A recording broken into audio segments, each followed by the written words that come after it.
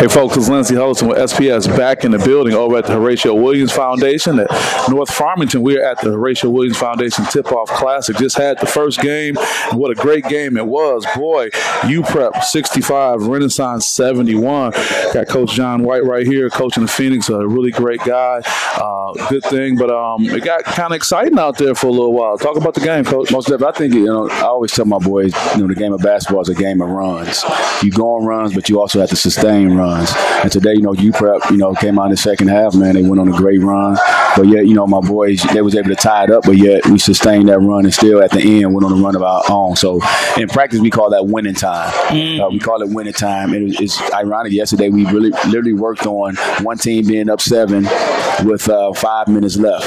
And you got to close out that last five minutes oh, and win. Okay. So we, we always work on situational uh, things in practice to, you know, so it could relate, you know, translate into the game. And, you know, Jawan Maxey didn't have the best shooting game, sure. but in the end, he made you know four, four or five big free throws. You know that kind of sealed it for us. Yeah, they were big. You know, I know this may be a million dollar question as you can answer. You know, we all be you know rolling in the dough, but what is it about players that can be up double digits in a game and be controlling the game, but you blink and you look up and now the other team is back in it? I know it's a game of runs, but what is it about the actual team?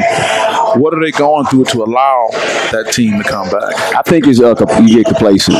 Sure. A lot of kids they could get complacent and they you know they lose focus. You know, fatigue sets in.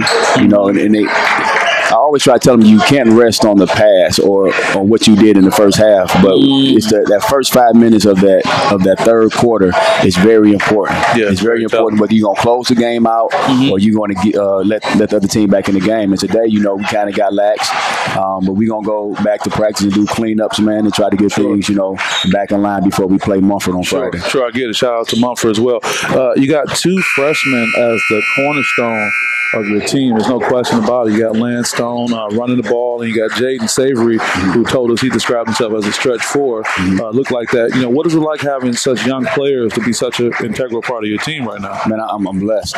I'm not gonna lie, I'm blessed. Uh, I was literally sitting down one day, and I got a call, man, from someone. I was like, "Hey, Jaden Savory." I was like, "Who is who is that?" He said, "No, you need to get in touch with his people.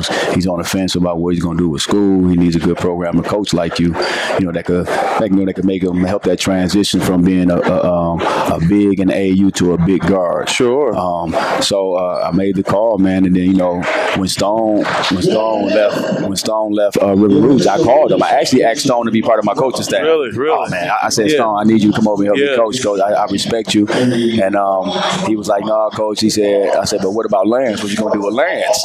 And that's when that conversation started, man. And man, things just worked in my favor.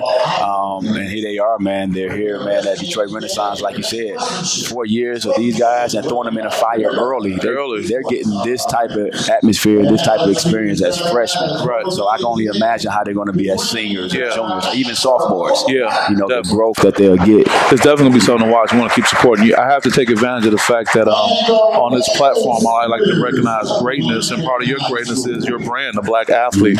Catch us up with what's going on since we talked this summer to what's going on with the brand right with, now. With the growth of the Black Athlete just taking off, I, I signed seven. I signed seven um, athletes to the NIL deals. I, signed, I just signed um, Nashina Quick, who works with Fox Sports and, do, and does the NFL Network for the Carolina Panthers.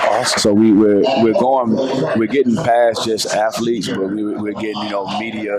You know, we want to celebrate those you know, I'm saying black athletes that's yeah. doing great things in the community, man. And so now they become part of the black athlete family. And these influencers too. Yep, influencers. Yeah, wonderful. We're gonna keep an eye on that. Well, we got great things to watch when it comes to you. Watching Renaissance High School, watching the Black Athlete. Anybody you want to shout out before we let you go? I just want to shout out uh, my two sons, Josiah Israel. You know what I'm saying? Um, hey, man, and Renaissance, man. Miss Strider, our principal, sure. who supports us, man, 110%. Yes, that's great when you got administrative support. No yeah, doubt. that's great. Well, with that, guys, we'll see you next time. Lindsay Huddleston with SPS. Take care.